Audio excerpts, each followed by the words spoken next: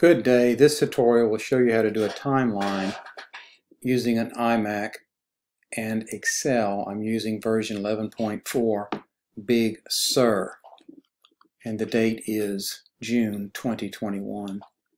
The first step is to highlight these two and then press Control and Command at the same time on the iMac keyboard and then you do Insert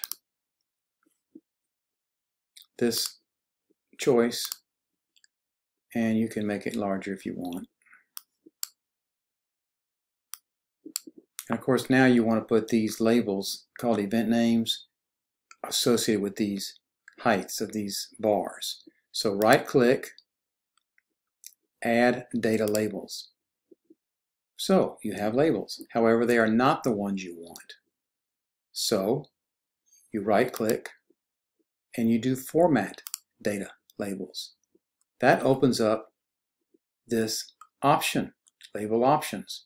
So you want to, if you click value first, you'll lose it all. So go ahead and click values from cells and then you're going to want to declick this in a minute. So you want to get your data range and so then you click this you click OK, uh, you highlight what you want here, and you click OK, and automatically it's done. However, you still have these pesky numbers here that were put here and you didn't want that, so now you declick this or click this value guy and they go away and you can straighten up other things if you want. I hope this helps.